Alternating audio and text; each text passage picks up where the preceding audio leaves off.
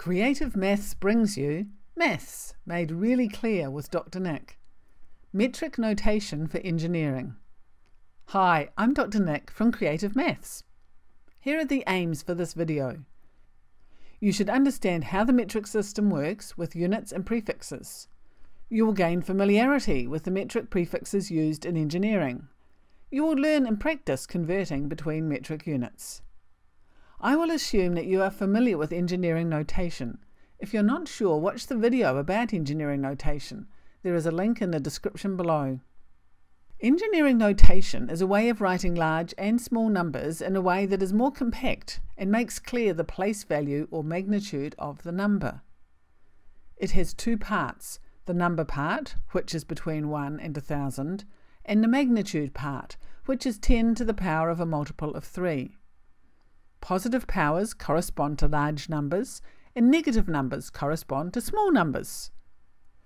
The very convenient thing is that engineering notation converts seamlessly to metric units. The units of the metric system you are possibly familiar with are meters, grams, and litres. We use these and related units in our everyday life.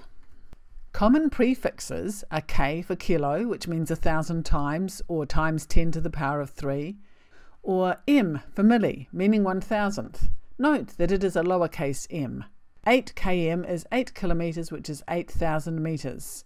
25 mg is 25 milligrams, is 25 thousandth of a gram, or 0.025 grams. To get from grams to kilograms, we multiply by a thousand. So 15 kilograms is 15,000 grams. 750 millimetres is 0.75 metres. Here are the other prefixes used in engineering. Note that there is no centi. Engineers do not use centimetres. You are most likely to use mega, kilo, milli, and micro, but you need to know the other ones as well. Note also that tera, giga, and mega all have uppercase or capital letters, and micro has the Greek letter mu. In handwriting, it can look like this. It is good if you're writing it by hand to emphasize the tail. 120 km stands for 120 kilometers. To give the distance in meters, you can replace the kilo with times 10 to the power of 3, or you can multiply the number by 1000. Converting to the appropriate unit. You generally want to give your quantity in the unit that matches the engineering notation. So 12,000 volts is 12 times 10 to the 3 volts, 10 to the 3 corresponds to kilo, so 12,000 volts is 12 kilovolts. 0.045 amps. We convert that to engineering notation, so it is 45 times 10 to the negative 3, and 10 to the negative 3 corresponds to milli. Thus, our answer is 45 milliamps.